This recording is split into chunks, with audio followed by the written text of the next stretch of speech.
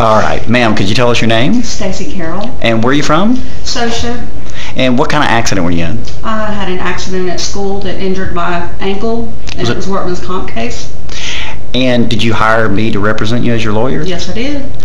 And were you satisfied with our services? Definitely.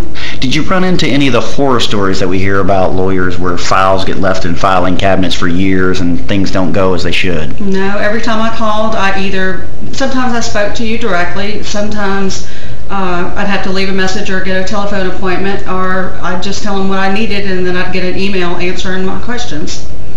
And if, and let's hope this doesn't happen, friends or family got in an accident, would you refer them to us? Yes, sir. Uh, anything else you want to add? Uh, I just, I thought this was going to take a whole lot longer than it actually did. They tell you it takes several years, and I hired you about a year ago, and here we are going ahead and settling now. But um, I'm, I'm very pleased.